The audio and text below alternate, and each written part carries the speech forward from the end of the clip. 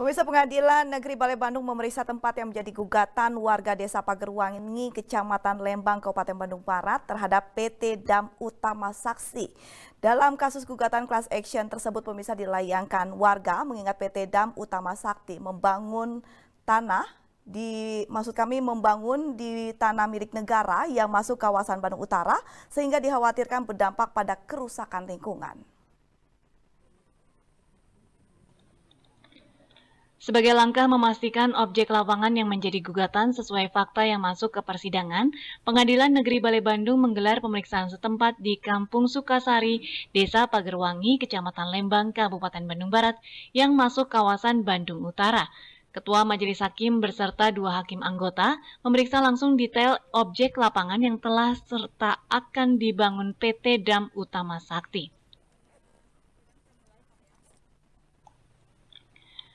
Ketua Majelis Hakim PN Balai Bandung mengatakan, pemeriksaan setempat dilakukan dalam rangka penyesuaian isi gugatan dengan fakta di lapangan yang menjadi gugatan. Setelah penyesuaian fakta, persidangan perdata dapat dilanjutkan ke proses berikutnya. Persidangan perdata itu ada yang namanya PS. PS itu dalam hukum acara perdata dan pemeriksaan setempat. Untuk mengetahui benar nggak objek perkaranya itu ada. Hmm tanahnya benar tidak ada, hmm. ukurannya benar tidak. Jadi kami hanya melihat itu saja. Hmm. Jangan sampai nanti pas sidang mau diputus, Pak tanahnya nggak ada. Hmm. kami yang salah. Jadi PS tidak ada tanya jawab, yang ada mana tanahnya, oh ada. Lalu di mana batas-batasnya, lalu milik siapa, ada nggak? Misalnya kalau tanah ada persengketaan tanah, si sebelah kanan, sebelah barat milik siapa, benar atau tidak. Setelah benar, baru kita, kita kesimpulan bahwa PS sudah selesai. Lalu di simak dalam berita acara bahwa objek sengketanya itu ada. Sementara itu, kuasa hukum masyarakat Desa Pagerwangi selaku pihak penggugat mengatakan pemeriksaan oleh majelis hakim bisa menjadi bukti gugatan yang dilayangkan warga bukan fiktif. Ditambah, isi gugatan bukan menggugat sengketa tanah, melainkan pengrusakan lingkungan di kawasan Punclut yang masuk KBU.